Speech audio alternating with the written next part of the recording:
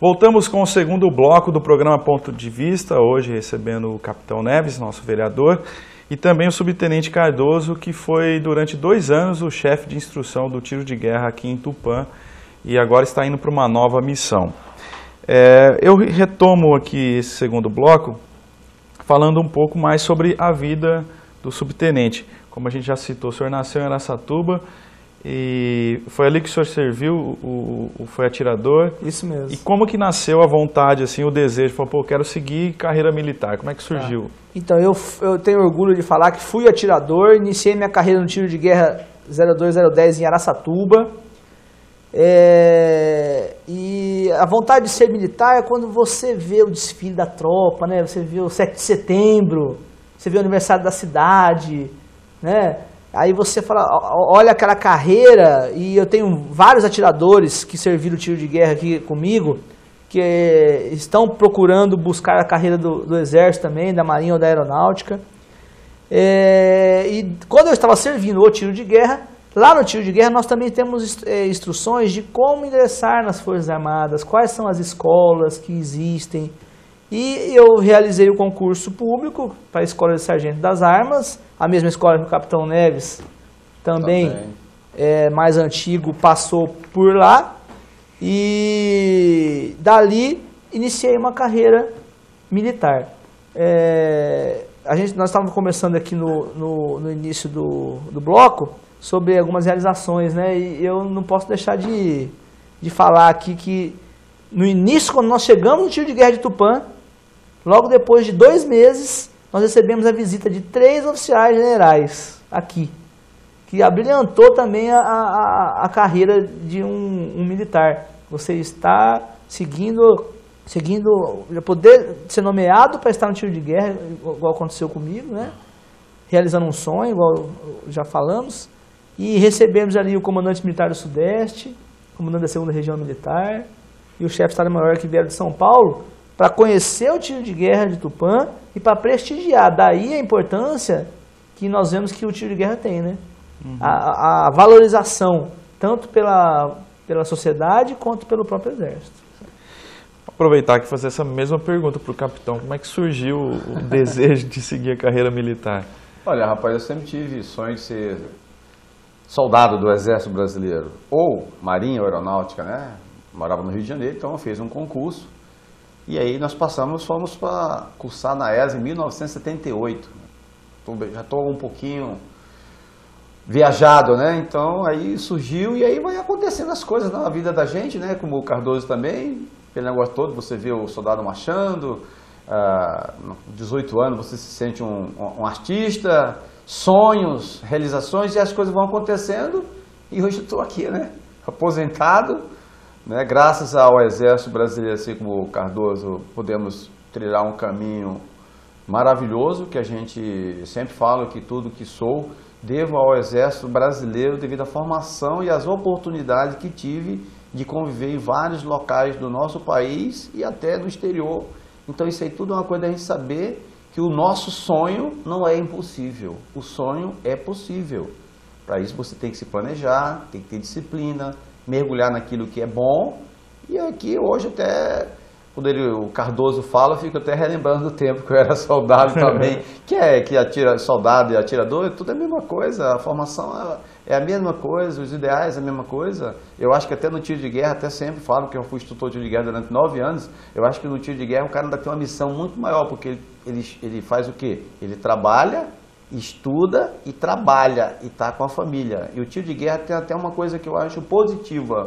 Existe a valorização mais da família, porque na tropa nós não temos muito tempo de, de preocupar com o pai e mãe. Aqui sempre tem os eventos, formatura lá, tá a mãe, entrega um documento, dia das mães. Então o Exército Brasileiro, essa instituição Exército Brasileira, eu tenho certeza que na, na figura do subtenente Cardoso e Sargento Júnior estão muito bem representados e a gente aqui da reserva é apenas um colaborador e um, incentivador, né?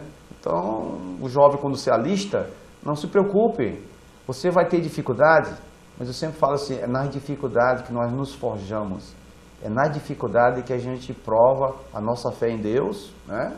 muita fé, e nós nos realizamos. Então, corra atrás do seu sonho, nada é impossível. Se você tem Deus no coração, tudo pode ser realizado.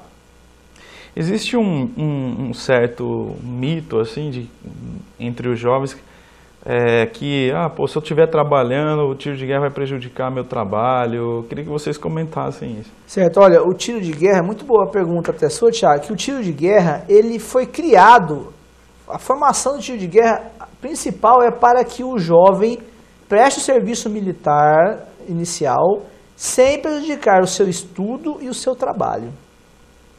Então, por isso que no tiro de guerra nós temos duas horas de instrução, que é das seis da manhã às 8 horas da manhã. Depois, o jovem vai prosseguir na sua vida, tanto de estudo quanto de trabalho.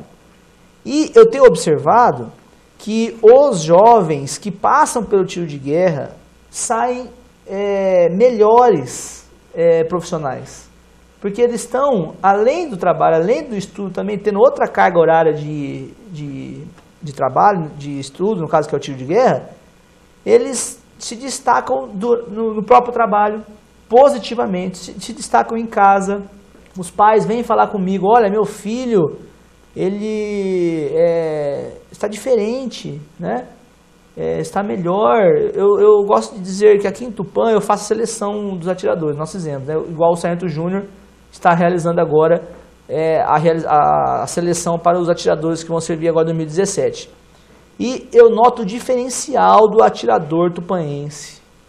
Sabe, ele chega ali, capitão, e fala, olha, eu quero conhecer como é que é, eu quero é, prestar o serviço militar, eu quero fazer uma atividade física, eu quero vestir a farda.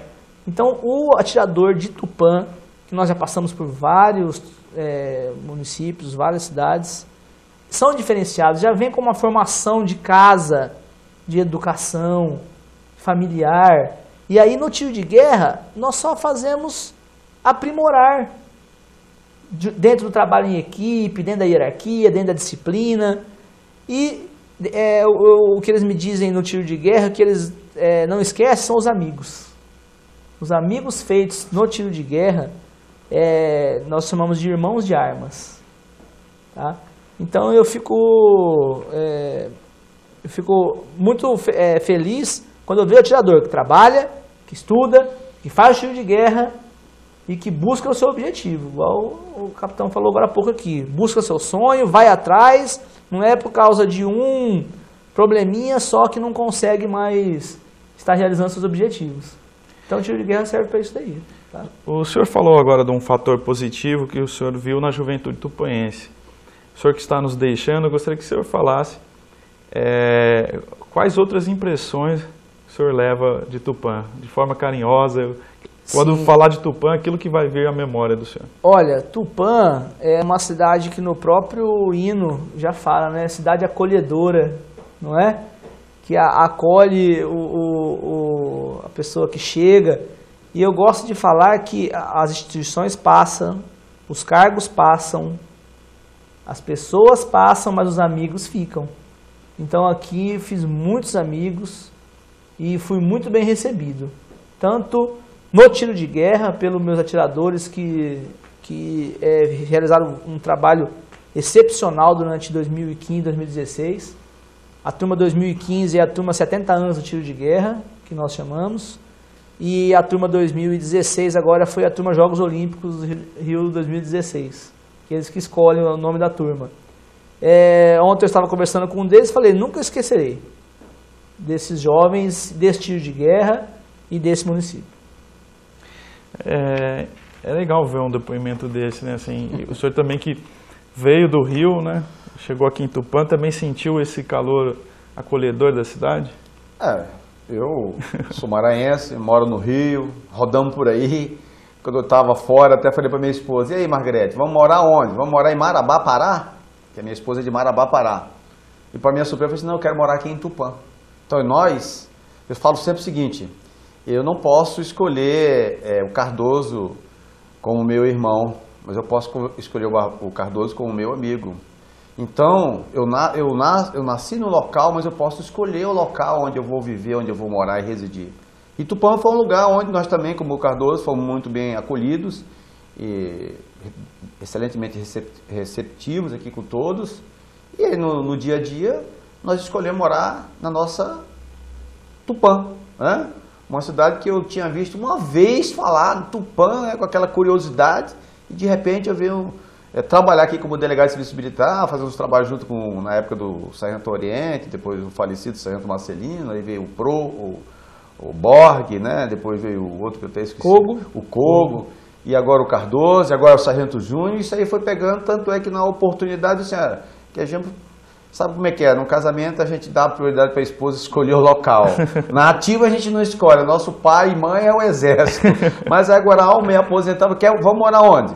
Minha esposa escolheu morar em Tupã e é claro que nós estamos em Tupã por quê? Porque nós fomos bem recebidos e a cidade é como ele falou, é ordeira, acolhedora. Então nós escolhemos Tupã porque eu não, eu não, não tive a oportunidade de escolher onde nascer, mas eu tive a oportunidade de escolher onde eu quero morar e residir. Quanto tempo o senhor está aqui? Eu estou aqui desde 2002, vim para cá, para Tupã, em setembro de 2002. Né? Então, praticamente já fazem 14, 15 anos. Né? E a gente tem uma história aqui na nossa cidade e a gente se sente muito agradecido a todo tupanense. E hoje eu posso falar, eu sou tupanense. Legal. Estamos chegando no final do programa, é realmente um programa gostoso de se fazer, de ouvir essas experiências. Eu nasci aqui em Tupã e ouvi do, dos senhores essa impressão que a cidade passa, esse carinho. Então, para a gente que nasceu aqui em Tupã, é, é gostoso ouvir isso. Gostoso ouvir isso. Então, estamos chegando ao final. Tenente, Subtenente Cardoso, eu gostaria que o senhor deixasse aí suas considerações. Em primeiro lugar, agradeço e parabenizo pelo trabalho ali. A gente através da TV Câmara, acompanhou várias ações do tiro de guerra nesses dois últimos anos e, e a gente viu ali a sua dedicação, o seu, a sua atenção para a comunidade, para os atiradores. Então a gente agradece e peço a Deus que te abençoe nessa nova, nova missão, aí, nessa nova etapa também da vida. Né? Eu agradeço mais uma vez a oportunidade, o convite do Capitão Neves, da TV Câmara. É, eu quero dizer que no tiro de guerra nós falamos que o grupo, a corrente, ela é tão mais forte quanto o seu elo mais fraco. Né? Então, lá no tiro de guerra, todos os trabalhos, todas as atividades, é, eu quero aqui agradecer os meus atiradores, que serviram 2015, 2016, é, dizer que eu tenho orgulho de ter formado essas duas turmas aqui. E como eu disse é, é, em outros grupos, uh, que eu, a gente tem um grupo lá do tiro de guerra, eu falei, nunca esquecerei de vocês e estarei pronto para cumprir qualquer missão que, que me for solicitada. É, então, para finalizar, é agradecimento. Muito obrigado mesmo a Tupã, obrigado aos atiradores, aos familiares, a, a, a todas as secretarias que apoiaram o tiro de guerra e peço que vocês abracem o tiro de guerra, continuem é, apoiando, ajudando o Sargento Júnior que está aí assumindo agora a, a, bandeira do tiro de guerra, levando à frente. Peço que apoiem o tiro de guerra da mesma forma que nos apoiaram nesses últimos anos. Tá certo. Capitão? Bem, primeiramente, em nome da, do cidadão tupanense, muito obrigado, Subtenente Cardoso, pela missão. É, em nome, como militar aposentado, tenho certeza que a missão foi muito bem cumprida né? e será dado continuidade com o Sargento Júnior. A gente se sente muito agradecido né, de ter essa oportunidade de dizer ao, a você, subtenente Cardoso, em nome de todo cidadão tupanhense, muito obrigado, seja feliz e que Deus possa iluminar os seus caminhos e sejam vitoriosos, porque você é um vitorioso. Tá? E esperamos que o Sargento Júnior, que aqui está, assume a função aí dia 13, às 10h30, né? na, como chefia, saiba trilhar o caminho, é, sempre ouvindo a parte, sempre fazendo as suas orações para Deus, para poder nos iluminar e mostrar o caminho que devemos seguir. E é só seguir em frente, porque te, quem está com Deus, é só pode dizer, missão cumprida. Seja feliz e muito obrigado pela oportunidade de estarmos aqui ter tido a oportunidade de vir aqui falar com você como vereador eleito, né? um militar também aposentado. Então, Verdade. com certeza, em nome do cidadão tupanense, em nome do Exército Brasileiro, muito obrigado, seja feliz e que Deus esteja sempre com você e a sua família. E a todos que, que estão com você. Tá? tá certo. Capitão, também mais uma vez, muito obrigado. Subtenente também, muito obrigado. Deus o acompanhe e o abençoe agora nessa nova jornada. E também para você de casa, o nosso muito obrigado. Continue acompanhando a programação da TV Câmara, a TV do Povo. Até um próximo programa.